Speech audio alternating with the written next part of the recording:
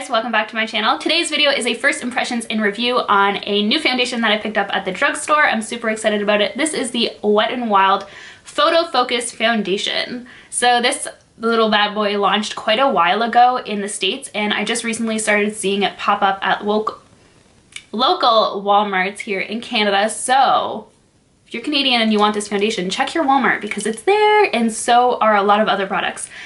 I haven't done a first impressions review in a while on a foundation, so if you do like them, give this video a thumbs up. And of course, don't forget to subscribe for more videos. And before I start rambling, let's get into the first impressions. I'm super excited for this first impressions video. I haven't done a first impressions on a foundation in a really long time. And this one is drugstore and it's so affordable. I was so excited when I finally found it. So on Wet n Wild's website, it is $5.99 and that is American dollars. At my Walmart, it was on sale for $7.99, so $2 currency exchange difference. Not too bad. $7.99 for a foundation is still amazing. So I was so uh, happy with that. And another thing that's really great about this foundation is that it came in 20 different shades shades. So that's a pretty good shade range for a drugstore foundation. So I decided to go kind of right in the middle and I got creamy, no wait, I got cream beige, which is a medium, and that's usually kind of where I sit. I'm just gonna quickly read what it claims on the website. So, your skin only better, hence covering it. Our new high performing Skin Perfecting Foundation underwent major road testing under seven different photo lighting conditions to deliver flawless camera ready makeup every time. Especially made with matte, light diffusing complex to give your skin a hashtag no filter perfection. What I gather from that description is that it's gonna be full coverage and matte. So those are two things that's kind of guaranteeing for us. So high performing breakthrough formula featuring light adjusting complex to help prevent white cast in photos. That's really good. Tested under seven light conditions. Yeah, okay. Nightclub lighting.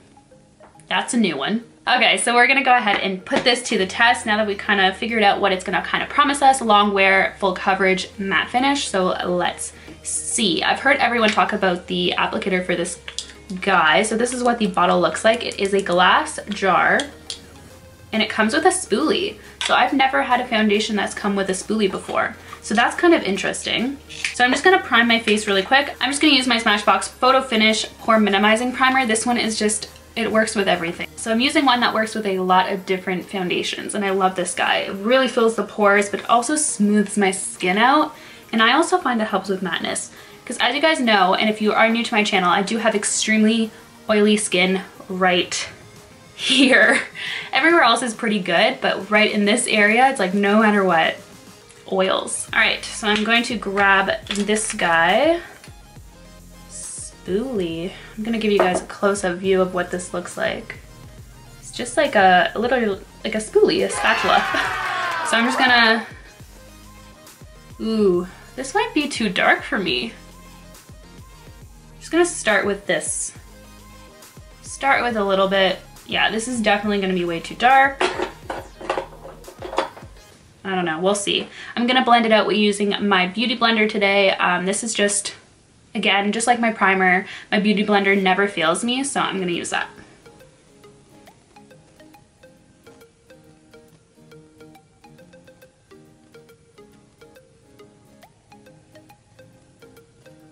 Hmm. So the color is actually not as bad as I thought it was gonna be. It actually blended out into my skin really nicely and the two swipes did a lot of coverage. So you don't need a lot. That's awesome.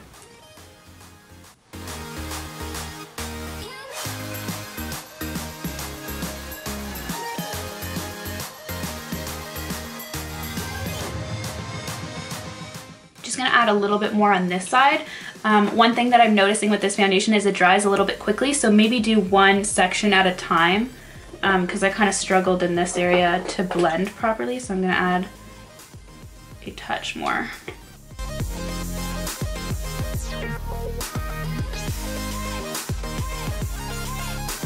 So right now I have one layer with a little bit extra on this side and I'm, I'm actually really, really liking the color, the coverage, and right now I it really does look matte. Like I haven't even set it or anything and it's not looking dewy whatsoever on the skin, which is great because sometimes even with matte foundations, I still need to set a little bit before I even see anything, any matte kind of finish.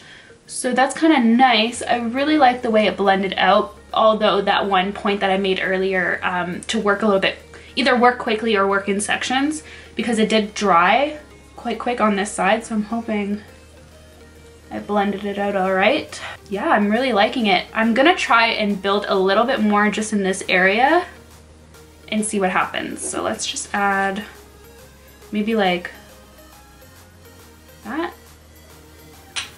Can see what happens? And just see how it looks builded up a little bit in these areas because these are the areas that people tend to put more in.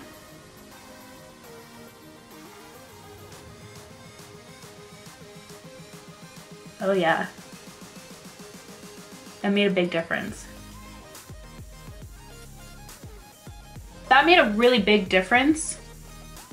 Adding that just a little bit extra in these areas here, which are typically a lot of people's problem areas, um, it, it helped so much that I really now love the finish as opposed to before it was more of like a, a lighter coverage. So this foundation is definitely buildable it feels pretty lightweight right now. I mean, I don't, again, I don't have the rest of my face makeup on, so that may change, but just foundation wise, it feels lightweight. It, it's completely matte on the skin.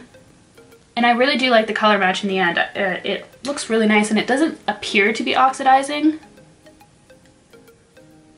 But I'll update you guys once my face is finished, whether it does or not. But so far I'm really liking it. So I'm gonna go and apply the rest of my makeup and chat a little further. All right, so I just finished the rest of my face makeup and I'm obsessed. I'm loving the way this looks. I don't know if it's just cause like my highlights like really good today, but I'm loving the way that this foundation is sitting on the skin. After applying all the products, sometimes when you're testing foundations, you see that it's just too much and it just looks cakey. But this foundation really applied my contour, bronzer, like blush, highlight, all of that really, really well. It stuck really well. It, it blended amazing.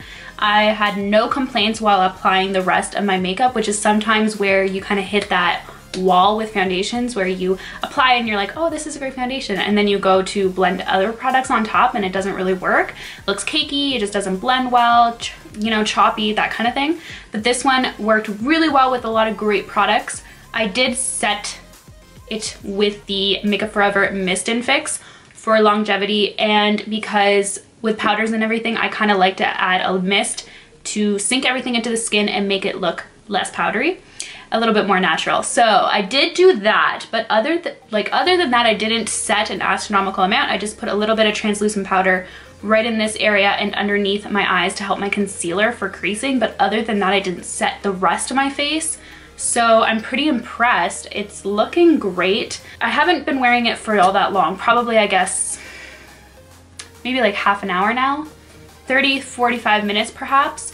So it's not that long. I will leave in the comments in the description of this video how it lasted for the rest of the day. I'm gonna keep it on until the end of the evening right now. It is a little bit late in the day. It is three o'clock, so I'm going to wear it probably until 10 or 11 p.m. And um, I'll let you guys know in the comments. And you guys will see in a favorites video if I ended up really loving it or not. But as of right now, I really, really like it. It is affordable, it is full coverage, kind of buildable almost. You can kind of keep it a little bit sheer like I did at the beginning with just the two strokes and then kind of build up like I did. Color-wise, I think it's great. The fact that it has 20 shades also, yes, Wet n Wild, killing it. I love it. I love when drugstore companies and brands come out with awesome products because it's just, ah, it's nice to go to the drugstore and get stuff that's real good quality and a bang for your buck, you know what I mean? Because sometimes you go into Sephora, it's discouraging when you get two products and you're like, $150 please. You're like, okay. So it's nice to sometimes hit up the drugstore and get some really awesome products and this is definitely one that I recommend. A lot of products on my skin right now is our drugstore. I'm thinking about doing a full drugstore makeup tutorial and even a drugstore first impression. So let me know down below if that is something that you'd be interested in. Otherwise, I don't think I have anything else to tell you guys. I hope you guys enjoyed this first impressions and review on the Wet n Wild foundation. Thanks so much for watching. Be sure to subscribe and I'll see you guys in my next video. Bye guys.